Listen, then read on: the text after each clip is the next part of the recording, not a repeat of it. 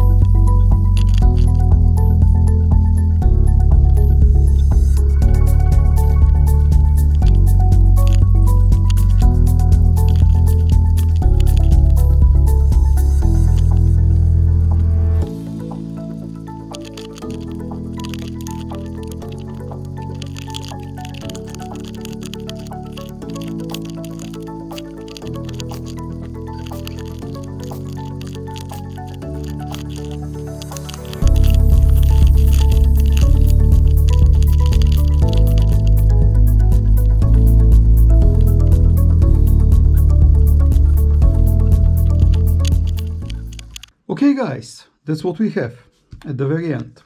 Let's start from this big pile. In this big pile we have nothing. These are mostly resistors, we have a little silver there, that's all.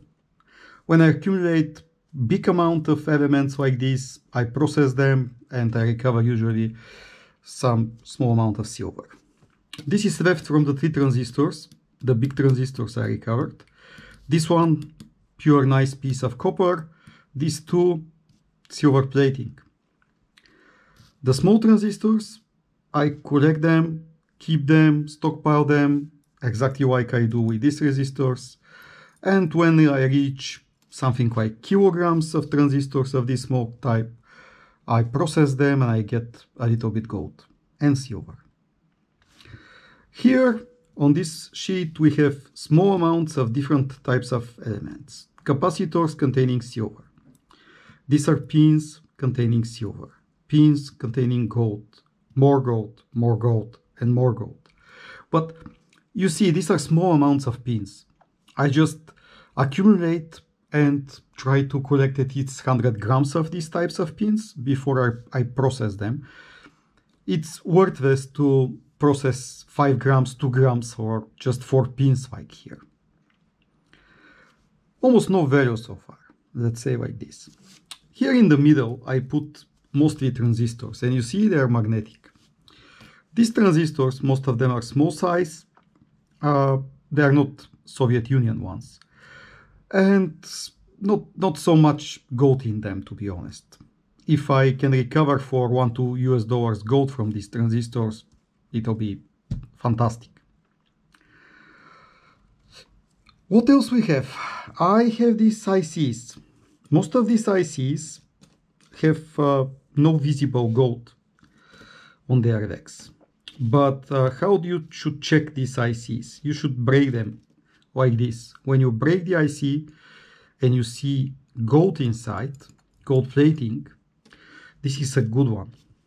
But in general, from such ICs, even the best of this type, you, you'll not get more than two and a half grams maybe of gold per kilogram. So, okay, stockpile, keep them, process them when you reach kilograms, but nothing impressive. Let's go to high yield elements.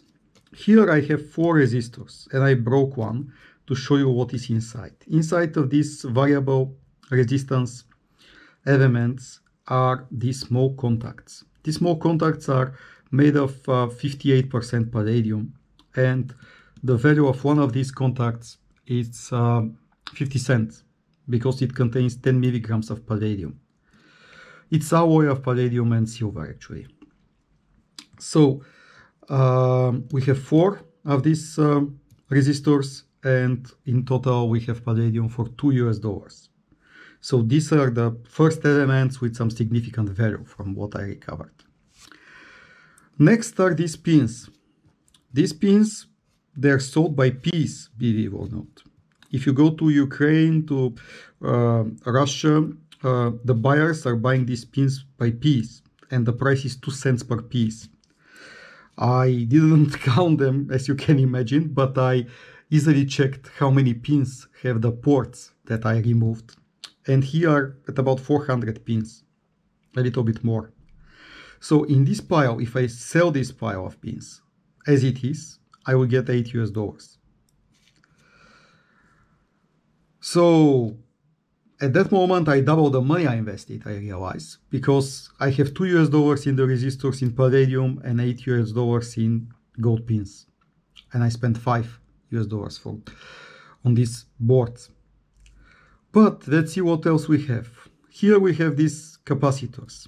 These capacitors, the blue ones, they contain palladium and silver. And I have 5 grams. The current price, the immediate sell price, let's say like this. I can immediately sell this at a price of 500 US dollars per kilogram. Which means two and a half US dollars in these 5 grams of capacitors. And last are these brown capacitors.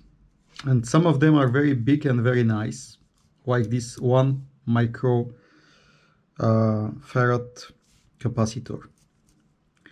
And there is a second one. Uh, these ones have double the more than double the price of the blue ones. I can immediately sell at uh, 1000 US dollars per kilogram, but uh, much much higher price can be paid by the right buyer to these ones, especially the big ones. Uh, here I have 8 grams. And these 8 grams, uh, on, on if, if we count by 1000 US dollars per kilogram, these are 8 US dollars. So you see a lot of effort, a lot of scrapping and cutting, but at the very end, um, only these four piles are 20 US dollars.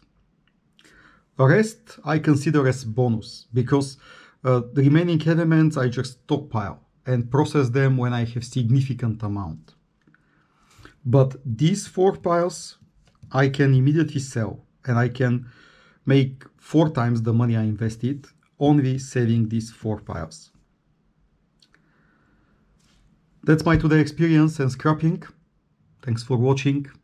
Keep scrapping and don't forget if you recover the elements from this, you'll definitely get more money than just selling. Bye.